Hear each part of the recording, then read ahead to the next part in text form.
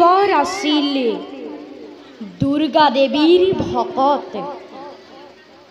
আৰু তেওঁৰ নাতিয়েক কুসুম্বৰে শিৱক ভজনা কৰি পুত্ৰ লাভ কৰাৰ কাৰণে পুত্ৰৰ নাম থৈছিল শংকৰ আৰু সেইজনাই হ'ল আমাৰ কৃপালু গুৰু গুৰু শংকৰদেৱ এতিয়া গুৰু মানে কি বুজায় গু শব্দই অন্ধকাৰ বুজাইছে আৰু ৰু শব্দই পোহৰ বা জ্ঞানক বুজাইছে। এতিয়া গুৰু হ'ল তিনি প্ৰকাৰৰ। আদ্যগুৰু, শিক্ষাগুৰু আৰু দীক্ষাগুৰু। আমাৰ মা দেউতাক আদ্যগুৰু বুলি কোৱা হৈছে। কাৰণ মা দেউতাই আমাক প্ৰথম ভাষাৰ জ্ঞান দিয়ে। ভালো বেয়া আদি বস্তুবোৰৰ লগত চিনাকি কৰি দিয়ে। সেইকাৰণে মা দেউতাক আদ্যগুৰু বুলি কোৱা হৈছে। যি ল'ৰা ছোৱালীয়ে জন্ম দিয়া পিতৃ মাতৃক সেৱা, শ্ৰদ্ধা আৰু ভক্তি নকৰে, সেই ল'ৰা ছোৱালীয়ে কেতিয়াও জীৱনত উন্নতি কৰিব নোৱাৰে নোৱাৰে নোৱাৰে। এতিয়া শিক্ষাগুৰুৱে আমাক শব্দ ব্ৰহ্মৰ লগত চিনাকি কৰি দিয়ে। দীক্ষাগুৰুৱে আমাক অন্ধকাৰৰ পৰা জ্ঞানৰ পোহৰলৈ লৈ যায়। পোহৰ আহিলে যেনেদৰে আন্ধাৰ আঁতৰি গুচি যায় ঠিক তেনেদৰে যি ল'ৰা ছোৱালীয়ে গুৰুক মান, সন্মান, শ্ৰদ্ধা, ভক্তি কৰে। সেই ল'ৰা ছোৱালীয়ে জীৱনত বহুতো নজনা কথা শিকিব পাৰে। এতিয়া শিশুকালৰ পৰাই যিসকল শিশুৰ অন্তৰত আধ্যাত্মিক ভাৱ জাগ্ৰত হয় তেনে এজন শিশুৱে জীৱনত কেতিয়াও বেয়া ৰাস্তাইদি খোজ নাকাঢ়ে। শিশুসকলক সম্যক জ্ঞান দিয়াৰ দায়িত্ব। কেৱল মাত্ৰ পিতৃ মাতৃৰ হাততহে আছে। এখন সুস্থ, সবল আৰু সুন্দৰ সমাজ গ্ৰহ দিবলৈ হ'লে সেইখন সমাজৰ প্ৰতিজন ব্যক্তিয়েই আধ্যাত্মিক আৰু নৈতিক শিক্ষাৰে শিক্ষিত হ'বই লাগিব। সেইকাৰণে গুৰুজনাই শিশুসকলক উদ্দেশ্য কৰি প্ৰহ্লাদৰ মুখেদি কীৰ্তন ঘোষাত। এনেদৰে কোৱাইছে এরা হেন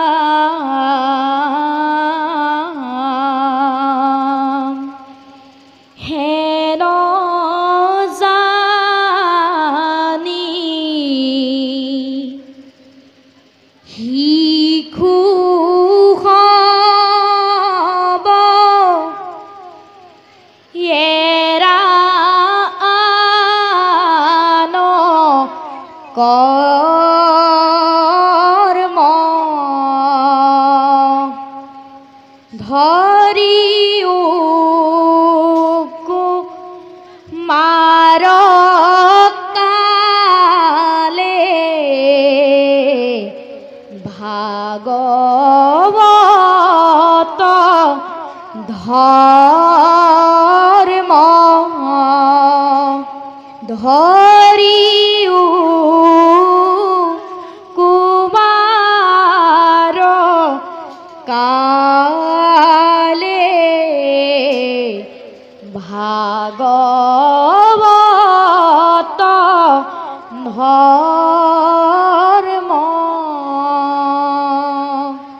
কৃষ্ণ।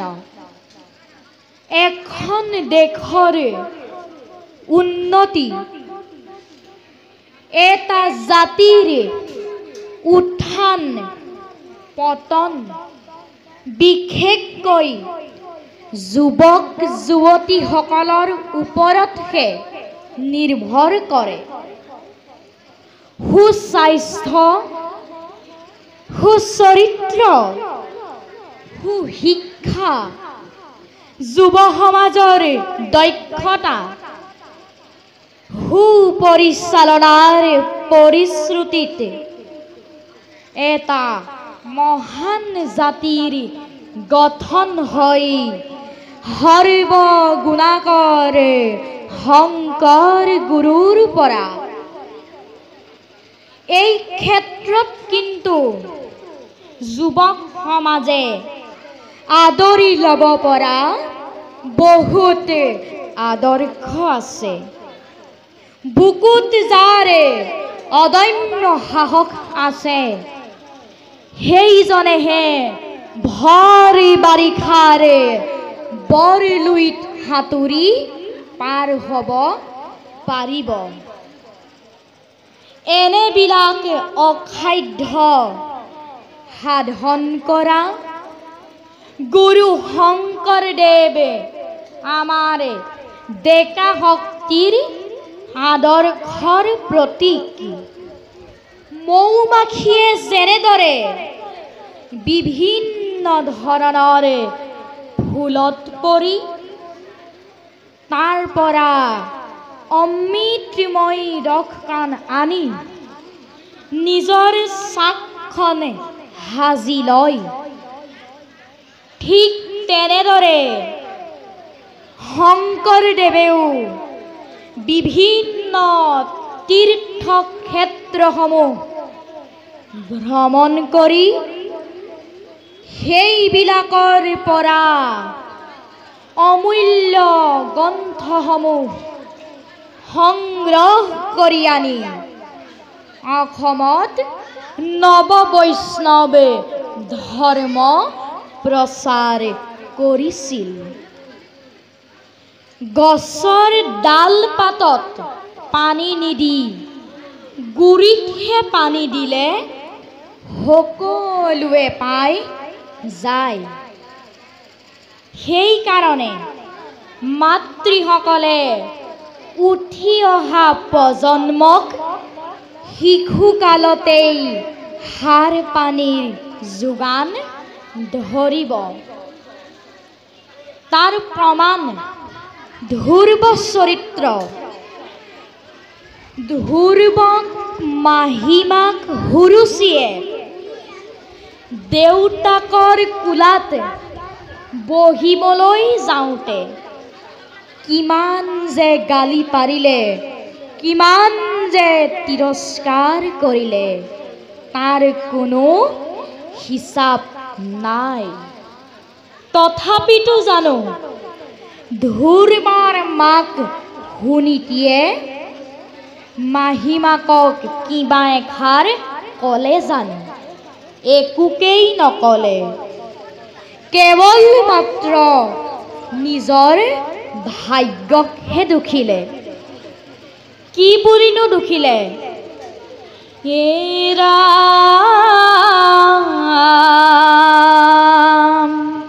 পূৰ্বতে লোকক আমি কৰিলো নস্ত্ৰ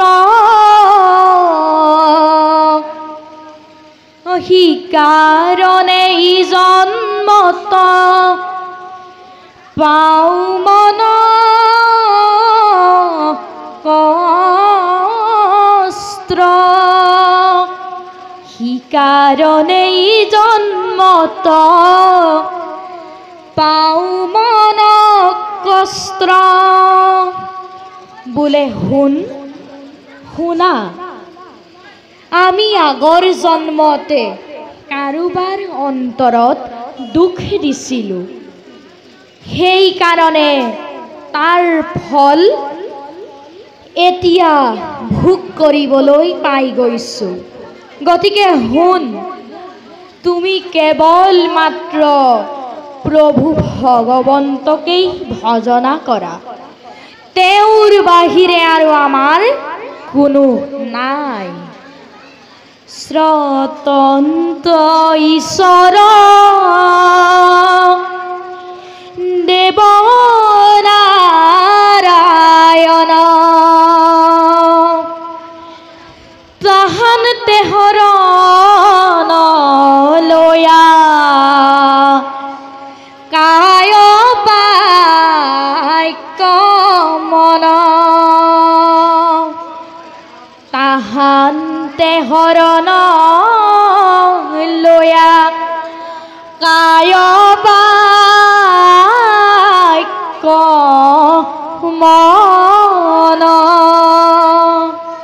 গতিকে শুন, তুমি কেৱল মাত্ৰ এক ঈশ্বৰকেই ভজনা কৰা।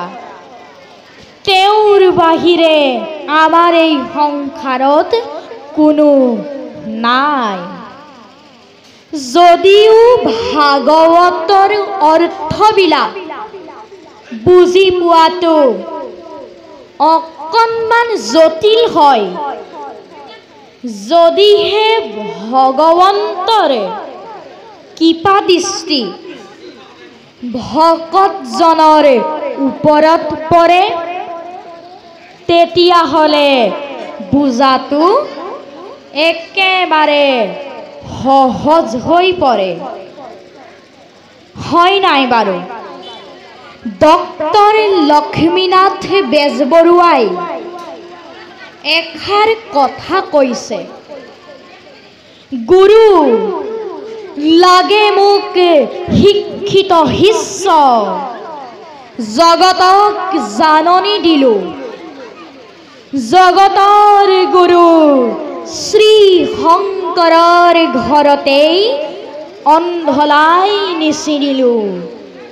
জগতৰ গুৰু শংকৰৰ ঘৰতেই অন্ধলাই নিচিনিলোঁ জন্ম গ্ৰহণ কৰাৰ পৰা মৃত্যুৰ আগমুহূৰ্তলৈকে সকলো মানুহৰ জীৱনত এটা নিৰ্দিষ্ট গতিপথ থাকে। এই গতিপথটোৰ লগত কৃষ্ণ সংস্কৃতি যোগ হৈ থাকে। যদিহে ল'ৰাজনে ভাবে, বোলে মোৰ দাদাই গধূলিহে পঢ়ে, গতিকে ময়ো গধূলিহে পঢ়িম। এই বুলি যদি ভবা হয়, জীৱনত জিৰ' লাগিব।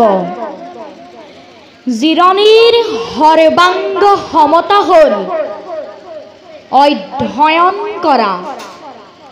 সেইকাৰণেহে কৈছোঁ, দিশ, যোগ, গতি, উন্নতি আৰু দিশ, বিয়োগ, গতি, অধোগতি। তাৰ প্ৰমাণ একলব্য। নিৰ্দিষ্ট দিশত গৈ ধনুধৰ উপাধি পাই গ'ল। বৰ্তমান কৰোণা কালত এনেকুৱাবিলাক অনুষ্ঠান প্ৰথাটো অতি জৰুৰী হৈ পৰিছে। কাৰণ আনুষ্ঠানিক শিক্ষা লাভ কৰাৰ পিছতেই কণ কণ শিশু ভক্তসকল আৰু যুৱক যুৱতী স্তৰলৈকে পৰ্যায় অনুসৰি শ্ৰদ্ধা, ভক্তি, নৈতিকতা, শিষ্টাচাৰ আদি মানৱীয় গুণৰাজিৰ জ্ঞান দি আধ্যাত্মিক দৰ্শনৰ প্ৰতি মনোযোগ আকৰ্ষণ কৰিবলৈ। প্ৰতিজন আদৰ্শৱান ব্যক্তিয়েই প্ৰচেষ্টা হাতত লোৱাৰ সময় আহি গ'ল। নহ'লে এদিন অসমীয়াই চিঞৰি চিঞৰি কান্দিব লাগিব। আমাৰ সমাজ ব্যৱস্থাত ধৰ্মৰ ভিন্নতা থাকিলেও সকলো ধৰ্মৰ মূল মন্ত্ৰ একেই সেইকাৰণে আমি শিশু বক্তা হৈ আশা ৰাখিছোঁ যে অসমৰ বৌদ্ধিক সমাজ তথা অগ্ৰণী ভক্তবান ব্যক্তি তথা বিশিষ্ট সংগঠনে যথোচিত পদক্ষেপ গ্ৰহণ কৰি আগন্তুক প্ৰজন্মক আধ্যাত্মিক দৰ্শনৰ প্ৰতি মনোযোগ আকৰ্ষণ কৰিব। এতিয়া দেৱতাসকলেও কলিযুগত ভাৰতবৰ্ষত জন্ম পাবলৈ আগ্ৰহেৰে বাট চাই থাকে। দেৱৰু বাঞ্চনী মনুষ্যৰ জন্ম। উপজেয়াত যত জ্ঞান কৰ্ম নকৰে কীৰ্তন ইহাক পায়া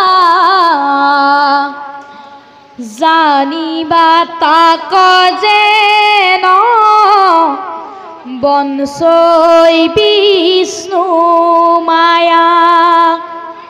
জানিবা তাক যেন বনচৈ বিষ্ণুৰ মায়া। এতিয়া দেৱতাসকলেও কলিযুগত ভাৰতবৰ্ষত জন্ম পাবলৈ আগ্ৰহেৰে বাট চাই থাকে। কাৰণ কলিযুগত এটা বৰ ডাঙৰ ভঁৰাল আছে। কাতি মাহটো নিশিনাই সেইটো হ'ল শ্ৰৱণ কীৰ্তনৰ ভঁৰাল। এনেহেন মূল্যৱান জীৱন এটি পাই। আমি হবে যদি ঈশ্বৰ কি বস্তু তাকেই নাজানো, তেতিয়াহ'লে আমাৰ এই মনুষ্য জীৱনটো একেবাৰে বৃথা হৈ গুচি যাব।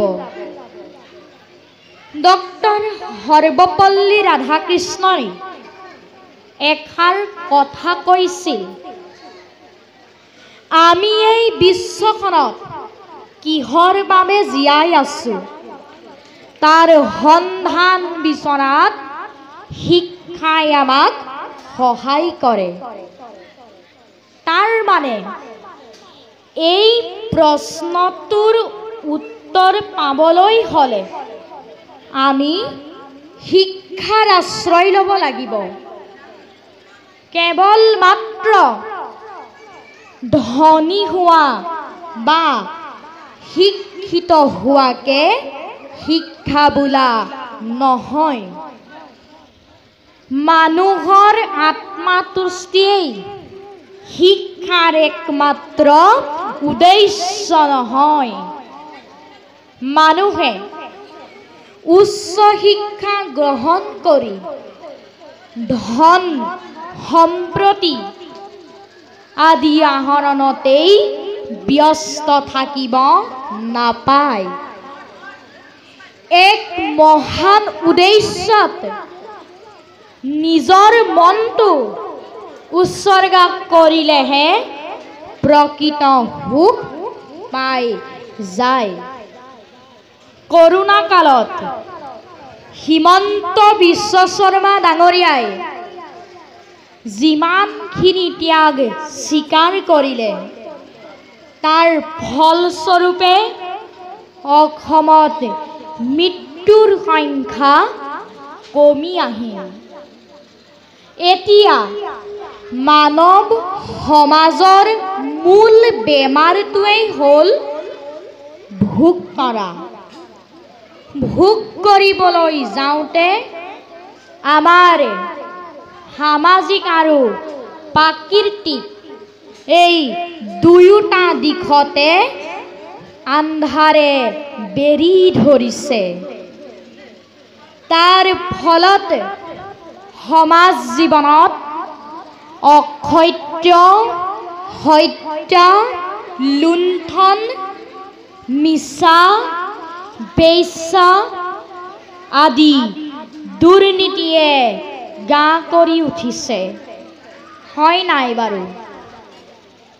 এতিয়া ভাগৱতৰ মংগলাচৰণৰ পৰা এটা কথা আমি স্পষ্টভাৱে জানিব পাৰোঁ যে ভগৱন্তৰ যি নিৰ্গুণ লীলা চৰিত্ৰ, এইবিলাক বুজাটো অকণমান জটিল আমাৰ কাৰণে। ব্যাসদেৱে ভগৱন্তৰেই অংশৱতাৰ আছিল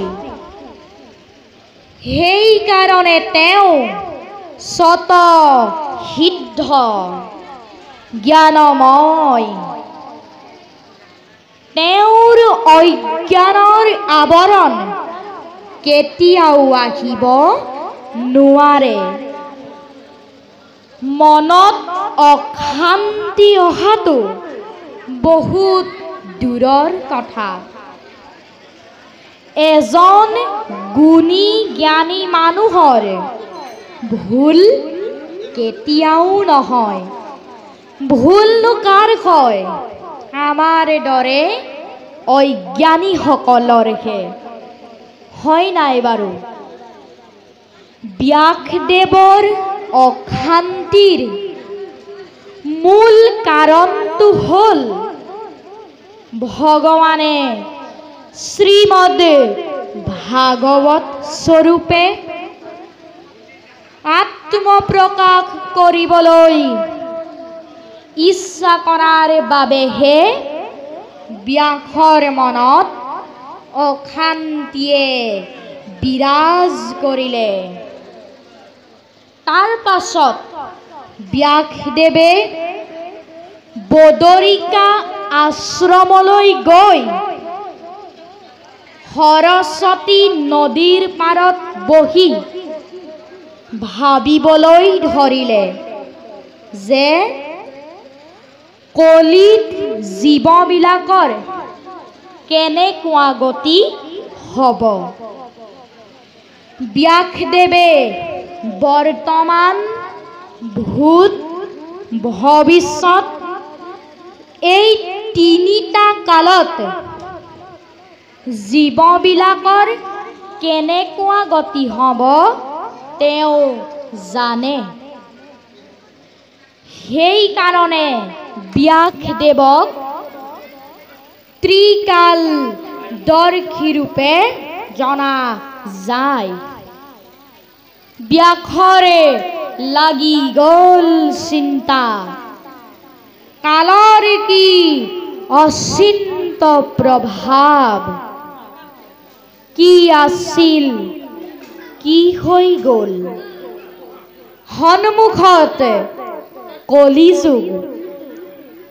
জীৱ আৰু জগত সকলোৰে গাত শক্তি নাইকিয়া হৈ গৈছে।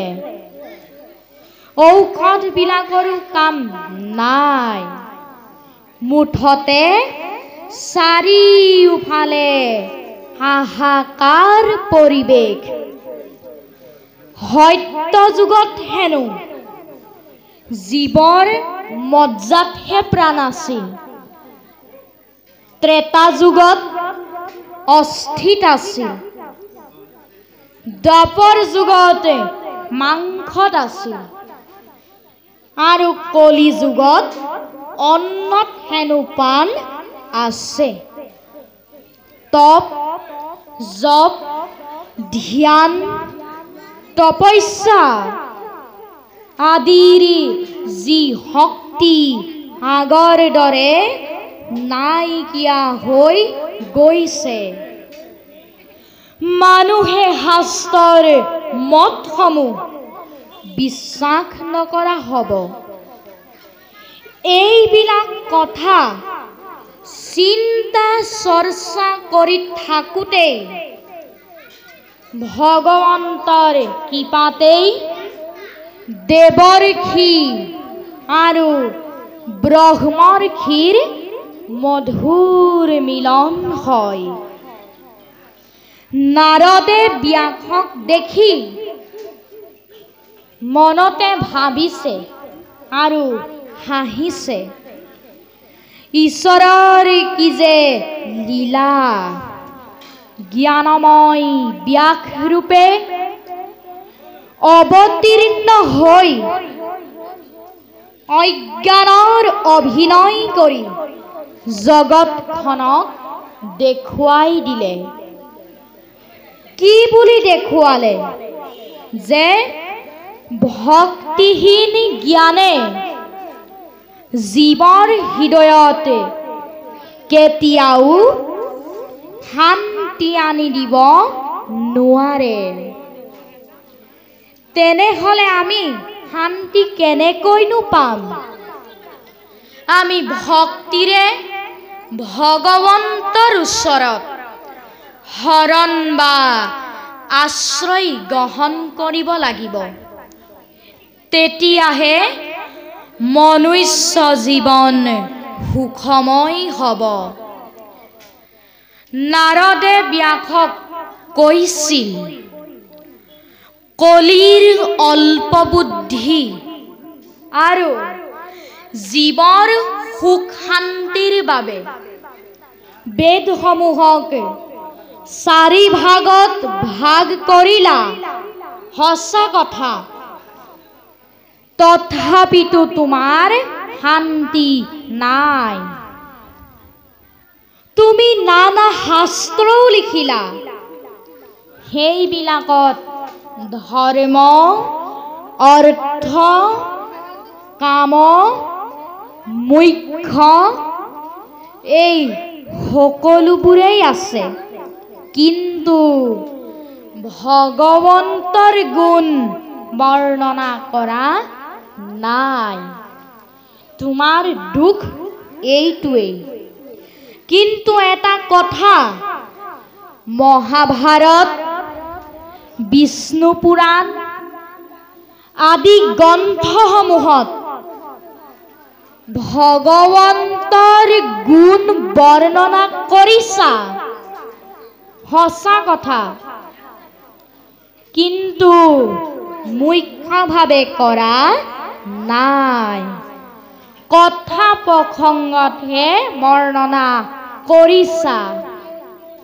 তোমাৰ দুখ এইটোৱেই গতিকে হে ব্যাস তুমি এবাৰ ভাবা, যিদিনালৈকে জীৱই বিষয় বাসনা ভোগ কৰি থাকিব, সেইদিনালৈকে জীৱই ভগৱন্তৰে সেৱাৰসৰ গন্ধ নাপায়। গতিকে হে ব্যাসদেৱ তুমি এবাৰ ভাবা, তুমি জীৱক আগম শাস্ত্ৰৰ যোগেদি নানা কাম্য কৰ্ম কৰিবলৈ পথ দেখুৱাই দিলা আৰু জীৱবিলাক সদায় সকামী কৰ্মতেই ধাৱমান হৈ গ'ল। নাৰদে ব্যাসৰ পৰা বিদায় ল'লে। ব্যাসে পূৰ্ণ পুৰুষক দেখিলে। তাৰ মানে ভগৱন্তৰ লীলাময় ৰূপ দেখা পালে। ভক্তিভাৱে অনুগত হৈ সেব্যৰূপে দেখিলে।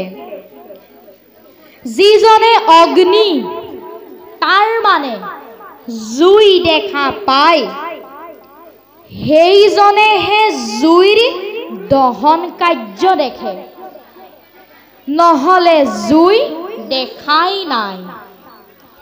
ডক্তৰে যদি এজন ৰোগীৰ বেমাৰটো ধৰিব নোৱাৰি যিহকে তিহকে দৰৱ এগালমান খাবলৈ দিলে ৰোগীজন ভাল হ'বনে বাৰু?